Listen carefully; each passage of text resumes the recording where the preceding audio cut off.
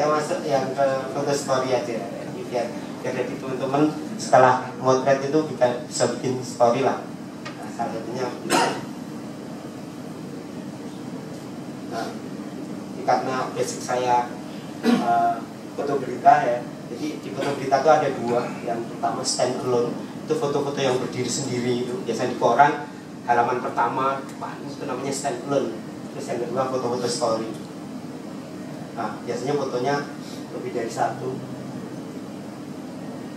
Nah ini sebenarnya paling banyak digunakan oleh fotografer karena ini uh, paling baru lah.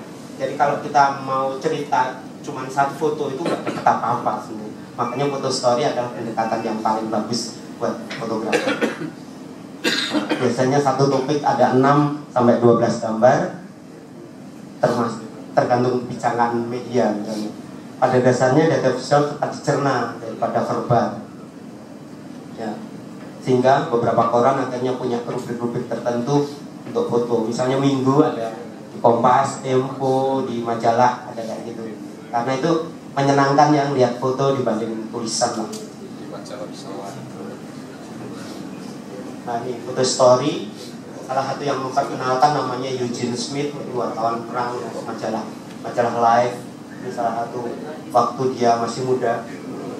Ini meninggal baru aja juga. Ini salah satu fotonya yang dibuat di majalah Life dia majalah wartawan perang ya. Jadi editornya ini tahun 30-an nah ini bagaimana? Waktu itu tahun 48 dia sempat memotret mengikuti seorang dokter hampir berapa bulan gitu untuk mengikuti dia uh, bagaimana kerja si dokter tersebut. Ini tahun 40 ini. Namanya dokternya dokter Seriani yang waktu itu masih dokter dokter umum ya. Jadi harus bisa apa aja kadang-kadang ini di Colorado tahun 48 ini juga di bagaimana Colorado suasananya? Kadang-kadang harus ikut kereta kayak gini untuk pergi me, ini me, pasiennya menyambangi pasiennya. Kadang-kadang harus nyutir di mobil. Karena saking luas ya. Ini juga X-ray pemeriksa X-ray ini tahun 48 sudah bikin, bikin foto kayak gini hebat sekali. Udah merokok yang jelas. Ya yang benar iya. Ini juga. Ini terjepit iya. Ini juga habis ngoperasi. Ini fotonya sangat terkenal sekali ya.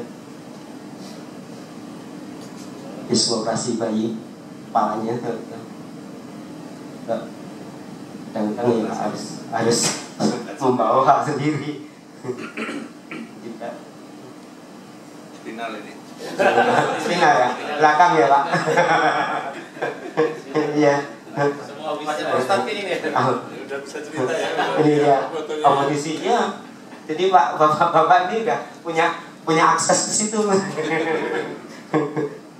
Ini perawatannya kayak gini. Jadi ke mana-mana dia bawa peralatan seperti ini zaman itu hmm. juga menarik ini ada tulisannya don't tell my mother. Untuk kandak ke ibuku ya. Karena kelihatannya agak nakal mungkin ya. Juga jadi harus turun ke bawah. Bawa pasien sebelum selesai udah ditelepon lagi. Ya pasien begitu ya pak Eko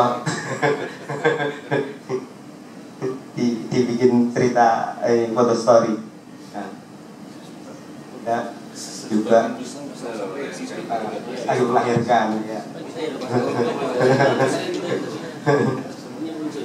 Ya inkubator tahun 48 itu hitam putih ini semua. Itu juga. Ya. Ya kadang-kadang habis habis ngoperasi kan santai juga bagaimana dia ini juga nah, santainya ada. Jadi dokter nggak harus begitu tapi ada sesuatu yang santai ya. Nah dari foto-foto itu ada beberapa elemen sebenarnya. Yang pertama adalah namanya establishing shoot atau overview, terus ada detail, ada person at work, bagaimana dia kerja, terus portrait, ya potret-potret fashion kayak gitu, terus ada relationship, terus moment. Ini keterangannya seperti establishing shoot apa? Nah, itu. Jadi pengambilan gambar untuk membangun sebuah cerita karena akan menunjukkan tempat dan keluasannya. Gambar biasanya overview yang dapat digunakan sebagai pembuka pengantar cerita. Jadi saya kemarin, dah, oh iya, dari kode, jadi nanti bisa. ya, jadi intinya begitu. Establishing shoot ini sebagai foto establishing shootnya begini. Ini contoh foto yang lain establishing shoot kayak gitu. Terus ada detail. Ini detail lagi operasi ya detail obatnya. Hmm. ini detail foto yang lain lah contoh. Gempa di tangan. Ya.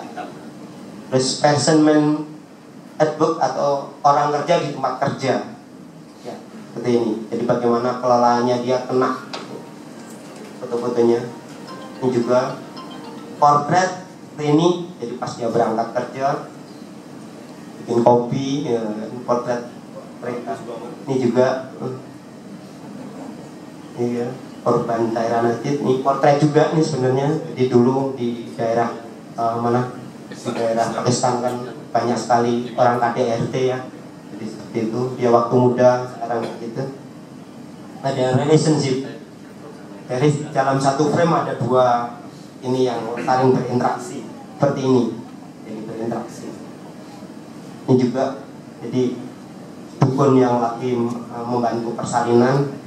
Ini juga lagi uh, tetaan perempuan ya dan terus momen. Momen ini. Kadang-kadang ini susah sekali ambilnya memang. Dia harus harus punya intuisi tinggi ya untuk bikin momen. Nah, ini pas kelahiran cuma berapa detik kan pak? Seperti ini. Habis itu udah. Kalau enggak nangis.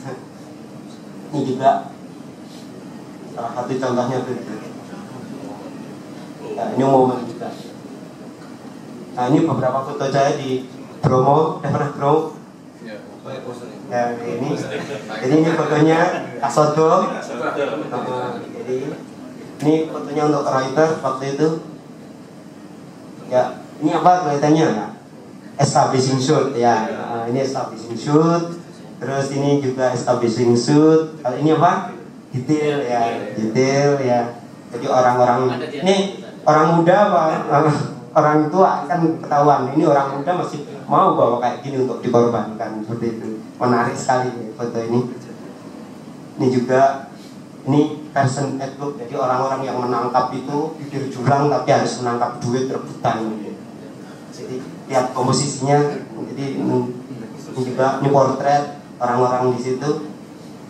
Kita portret juga walaupun dari belakang nggak masalah. Ini kalau ini relationship. Jadi bagaimana si orang ini lagi dikasih. Ada satu frame. Ya ini juga antara si hewan sama ini lagi. Ini relationship. Kalau ini momen. Karena uh, orang yang mau me, mengorbankan tapi akhirnya dibawa balik lagi. Nggak masuk ke kawah. Ya ini juga momen jadi pas melempar. Coba lihat orang ini nekat sekali ya pak. Gitu. Ditangkap. ya jadi beberapa foto akhirnya dikirim ke Reuters Was- Washington Post ambil ini Telegraph ambil ini jadi tergantung mereka. Tapi saya pada prinsipnya bikin foto story dulu diambil satu-satu jadi menarik. Ini juga yang ini majalah Perancis teman Detekcom ambil ini. Ya ada beberapa yang bikin foto story tapi cuman dari establishing shoot jadi seperti ini. Jadi tahun namanya Simus Murphy ya agen Seven itu tahun 94 dia di Afghanistan bikin foto hitam putih sebelah kiri terus dia datang lagi dengan angle yang sama bikin lagi tapi yang berwarna ini juga nah, Tapi ini foto-foto establishing, jadi foto-foto overview semua. Ya, jadi setelah berapa tahun baru ketahuan, oh ternyata perkembangan Afghanistan seperti ini. Ini jadi salah satu metode untuk bikin foto story. Nggak harus yang 66 tadi, tapi cuman establishing shoot aja. Ya. Juga dulu ini pakai sekolahan lagi. Ya, ini juga dulu ada tiga orang, sekarang nggak ketemu lagi cuma dua orang karena yang satu meninggal. Ya, ini juga dulu sebagai camp pengungsi sekarang masih. ini juga nah, dulu presidennya ini sekarang Karsai. Ini yang khusus potret hebatnya mereka. Dia mendekati orang-orang yang mau tinju sebelum bertinju sama setelah ditinju petinju. Di dipotret sama dia. Ini portret ya. Ini bisa ketahuan nih kalah mau menang ya kan? Hebatnya itu. Ini juga waktu sebelum operasi sama setelah pak. Ya, ini jadi foto story sendiri. Jadi potret potret. Ini juga ini enggak enggak jadi tinju katanya masih alis nih. ya ini potret-potret juga. Jadi saya mau cerita tentang bikin story potret-potret semua juga bisa loh. Ini orang yang itu autis ya. Jadi bapaknya seorang fotografer yang memotret anaknya dan fotonya akhirnya beredar ke mana-mana sampai Time National Geographic nah, duit honornya untuk mereka anak ini. Nih jadi bagaimana dia menggambarkan jadi seorang autis seperti apa sih? Ya, jadi pesannya di persimpangan. Jadi komposisinya lihat pak simetris ya. Terus ini juga dua per tiga kan biasa ini juga komposisi warnanya. Jadi bagaimana orang autis punya dunia sendiri. Juga tidur. Tidur sampai nggak tidur ya. juga nah, lihat komposisi komposisinya menarik. Hmm. juga telepon teleponan sendiri ya.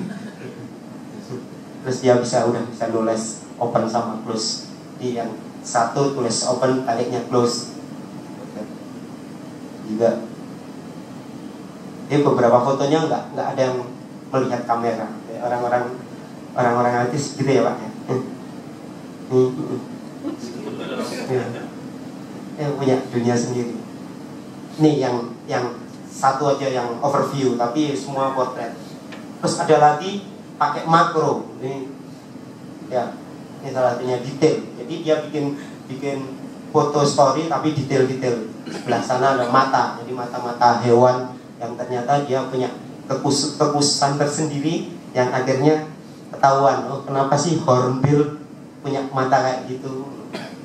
Gitu ini yang karena moluska ini uh, capung ya dragonfly. Ini burung enggang ini starfish. Ini juga ini katak pohon. Ini uh, buaya. Terus ini spider.